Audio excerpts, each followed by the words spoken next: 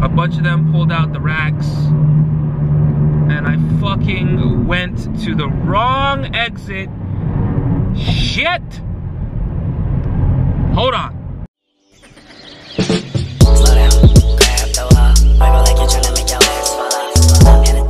What's good, my peoples? As you noticed, I uh, shaved the stubbles. It was getting a little too uh, hard to maintain and uh, tangled and whatever, so it had to go. Today's Wednesday, May the 2nd. May the 2nd be with you. What are we doing? We're going to Ross. We're going out uh, hunting. We're going sourcing, as they say in the reselling biz. Join me, won't you? While I have you here, let, let's let me tell you about last night, okay? Last night after work, I, I went to Ross. I was just looking around, just looking at the shoes or whatever, and then I hear somebody talk in my direction. is like, oh, you've been like something. Some, I, I don't remember the exact words. Was like, like, oh, you find any good finds lately? And I'm just like,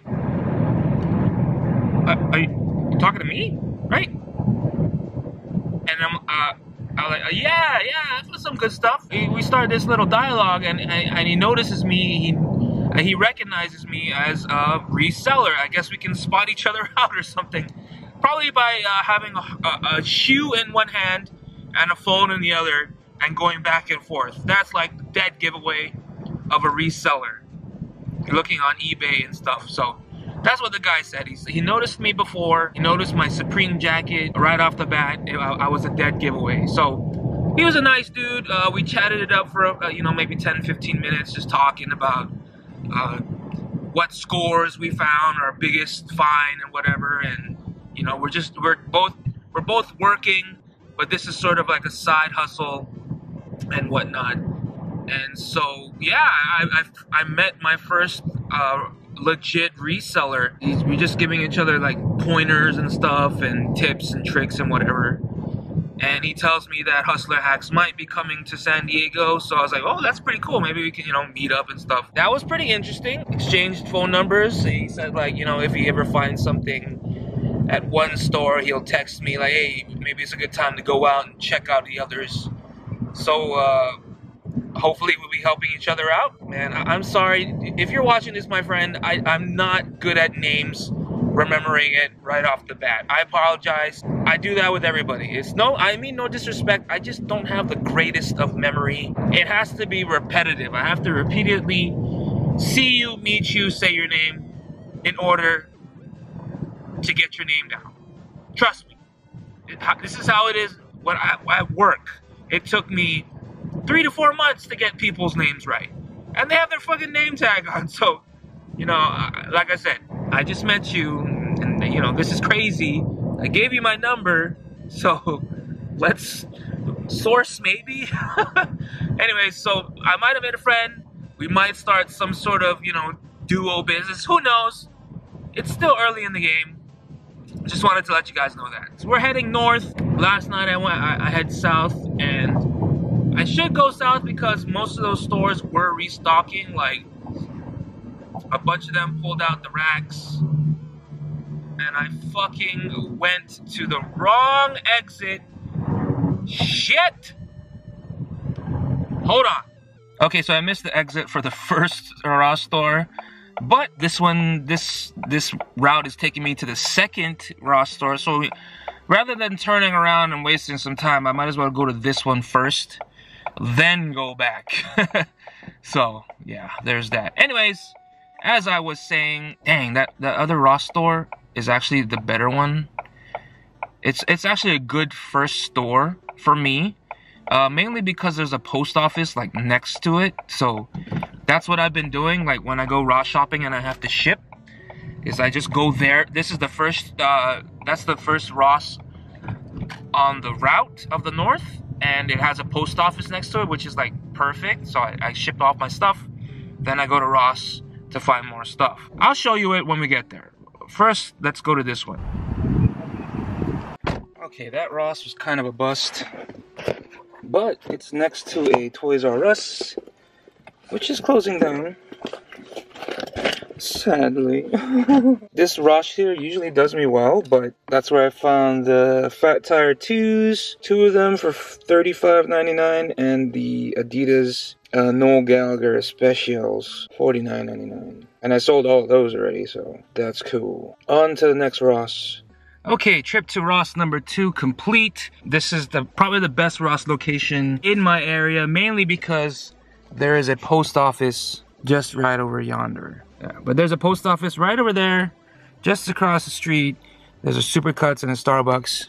Perfect location. There's even a Target over there. But uh, truth be told, I didn't think I was gonna find anything in this Ross, mainly because I had a bad uh, premonition when I walked in the post office. I just went to drop my uh, box that I just uh, sold to this morning. Right at the drop area, there was a whole bunch of boxes, and a, a, lot of those boxes had this eBay tape on it. So that was a bad sign for me, thinking, oh, freak, those guys probably went to this Ross and cleared it out. Which was kind of true, but I did I did find one thing, tank top, Adidas Pharrell collaboration, twelve ninety nine. Uh, normally 50 bucks, 55 actually. Size small, unfortunately, so I, I don't have a backup plan. Like, oh, I could just keep it. But it's like this astronaut tank top. That was a little diamond in the rough. It was like hidden within the athletic shirts and stuff. So anyways, on to Ross number three. Ross number three, bust. This Ross probably is like, I would say the worst Ross out of all the Rosses that I've been to. Mainly because they have like the least amount of stock. I've been coming here for months and it's just been the same amount of stock. They probably have the smallest men's shoes racks. I think they only have a total of four racks, like total. Small racks. So maybe like a hundred pairs of shoes maximum or maybe less. I don't know. Even the the, the clothing section it's so sparse. Like it there's so much space in this Ross, but like so little stuff to sell. I don't know why. Maybe they just like they figured it doesn't get enough traffic or whatever. But yeah, this Ross it's not the very best Ross. And on top of that, their shoes are so high priced. They probably have the most highest priced shoes that I've seen out of all the Rosses. Like 80 bucks, 79.99 for a shoe. It's mainly those Jordan boots. However, last night I went to one of the Rosses near the border and the same Jordan boots are now $39.99. That's a big drop off. 40 bucks off. Unfortunately, those don't really sell, and I don't have the necessary boxes to sell big shoes. So that's what I, have been avoiding a lot of big shoes because I, I, just I don't have the shipping uh, know-how yet. I'm still learning. But anyways, on to Ross number four. Hey, what's up, party peeps? I'm um, sorry I stopped recording yesterday. It's actually the next day. And silly me, I need to get used to vlogging sort of thing and Ross shopping because I tend to forget to pull out the camera sometimes when I'm out and about. And that's what I did after the last recording. I kind of just forgot about it and I started, you know, driving around, going to different Rosses trying to find some good stuff. And uh, unfortunately, I kind of wrapped most of it all up. Um, this is my workstation so far. Uh, I got a lot of materials and stuff, but let me just show you what I got yesterday. Um, sorry, they're all wrapped up already, but Here's a pretty cool one. These are Nike Air Cortez. Um, these are called the Forrest Gumps. These are what Forrest Gump wore in the movie back in 1972. Even has the you can't see it, but there's a metal metal little thing on the shoelace in the front there that says Cortez 72. These are size 11.5. I got it for 49.99, 50 bucks. Um, Got these pretty cool ones. I'm not too sure if I showed these before. These are the Kyrie I'm gonna say two or three. Uh, um, there's some sort of summer pack or something. I forgot what it's called. Size 7, I got these for $49.95. 45 $49.99 as well. Um, they sell for a bit, little bit more than a 100 uh, Hyper Venoms, size 13. Uh, they're like plain black. These normally go for about 59. These are pretty cool. I can hardly even see anything. These are uh, by Puma. They're called Fenty by Rihanna High Trainers. They're size 11.5. I got them for about $49.99. Normally, they sell on eBay for about $89.90, give or take. I was thinking about keeping these, but uh, I don't think they look good on me, so I decided not to. Another Hyper Venom, but these are uh, with the little sock insert. The other one I just showed you previously doesn't have the little sock insert. This one does. So these ones are worth a lot more than the previous ones. These are size 9, 8.5 I believe.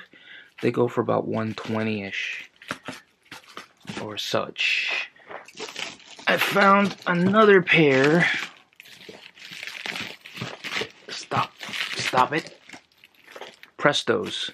Air Prestos, gray. Uh, these are size 12, 49.99. Normally go between 80 and 90.